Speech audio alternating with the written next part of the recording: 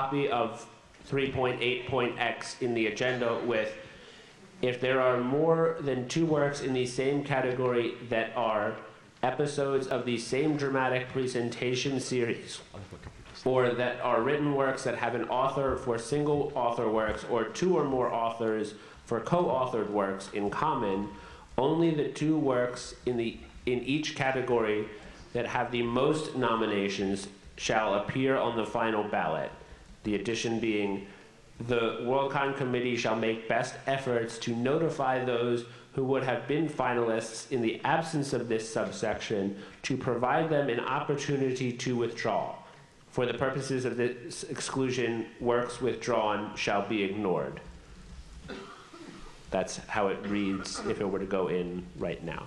And a, a, a brief final explanation before I, I uh, um, finish the, the, the remarks from the committee. Um, the um, strikeout on the on the last line of this uh, uh, by their authors, uh, author or authors under section 3.2.5, um, we added for clarity since there are other sections under which works may be withdrawn, and it was felt that that, that was just a, a tidying up that, that would have probably been suggested by the nitpicking and fly specking committee um, had we left that in anyway. Uh, Ms.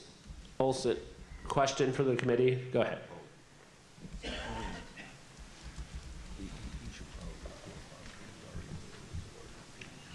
My name is Priscilla Olson, and um, the question is, because I'm not sure I understand this, is that if somebody by, um, after the uh, um, nominations, has four works on the, in the category, you get in touch with that person, that person decides if they want to toss out any of the works before you decide which to go on to the ballot.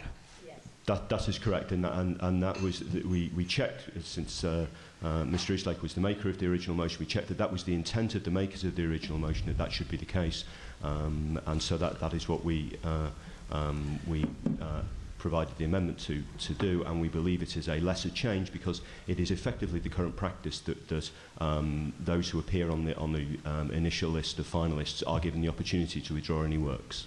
Thank you. Parliamentary inquiry? Yes, Mr. Buff. Does the chair feel, uh, does the chair rule that this is in fact a lesser change? How did I know that question was coming?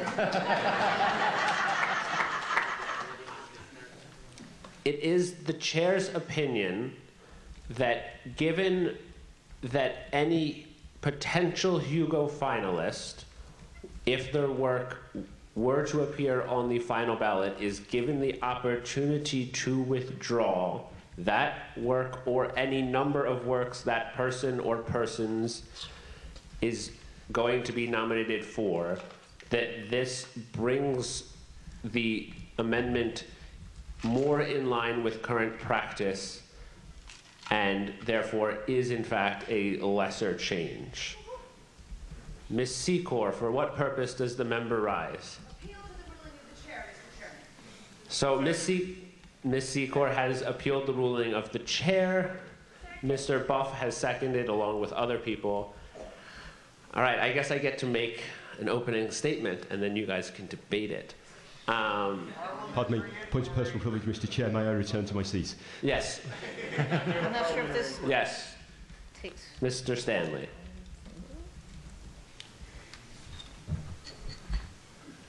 Mr. Chairman, in, in, in as much as this, this is a good point. Kevin Standlee. Uh, I was trying not to overdrive the mic.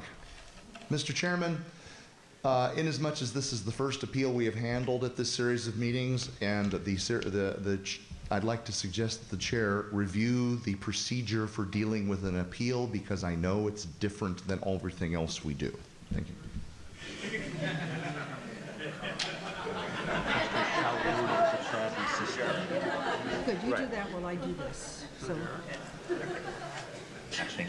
this on, on, on thumb drive. Yeah, I have it. Chair. So it's mostly just that people can only speak once, except the chair who gets to speak Right. last. Yeah. And then the, the Motion motion is is, how, sh- who is in favor of sustaining the chair? Right, yeah. Who's against? All right. So this is how an appeal works. I, as the chair, get to give an opening statement.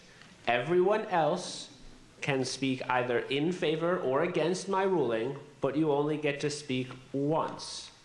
I get to speak at the end, if I so choose, and give a closing argument. So I get to speak twice. We will then put the question to the floor in the form of Shall the ruling of the chair be sustained? That means that if you vote aye, you are saying that the chair's ruling is correct. If you vote no, you are voting against the ruling of the chair. Does everybody understand that?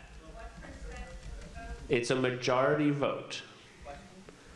Mr. Blog. How much time for debate? Is there a time limit on this? Out of the same, out of the eight minutes. It comes out of the eight minutes for the underlying motion, so I would ask the timekeeper to tell us how much time we have left. One minute, 15 seconds for the for, and three minutes and 15 seconds for against. Mr. Matthews. Not sure which side it comes out of.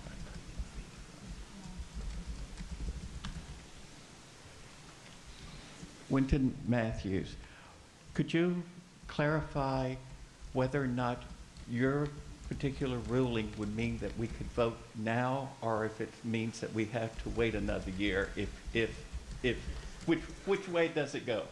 Thank you. If my ruling is sustained, the motion, the motion could be ratified this year.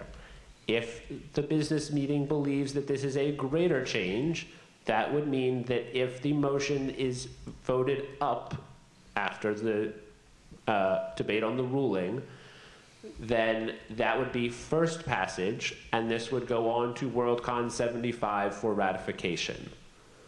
I need to pass the amendment first. For what purpose does the member rise? I wish to move that additional time be added to debate. So, uh, how much time would you like to extend debate by? I would like to have four minutes evenly divided. Is there a second? And undebatable. Is there any objection? All right, so this requires a two-thirds vote. All those in favor of extending debate by four minutes, evenly divided, raise your hands.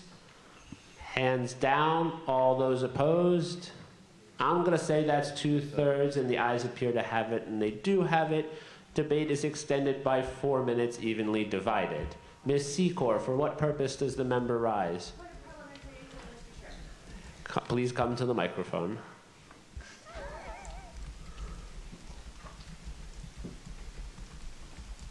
Just to double check, it's, I'm Kate Secor. It's my understanding that the, if we pass the amendment and it is ruled to be a greater change, then the amended resolution would have to be ratified. If we don't pass the amendment, then we go back to voting on the original form, which would then be ratified in this meeting and take effect next year. Right? Yes. Okay, thank you.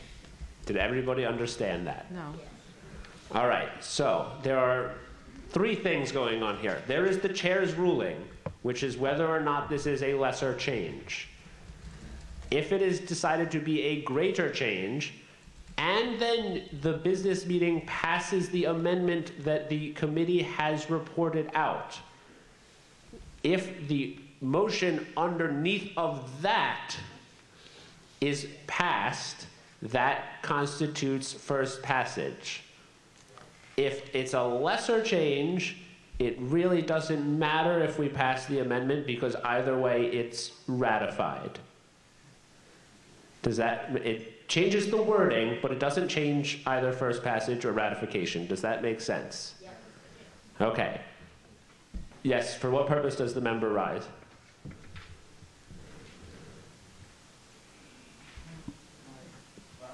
I think while you're on this- No.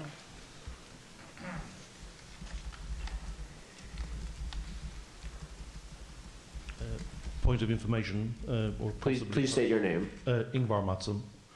Uh, the chair said that if the amendment is passed as a lesser change, the underlying resolution is ratified. You would have to pass the underlying motion, so it's.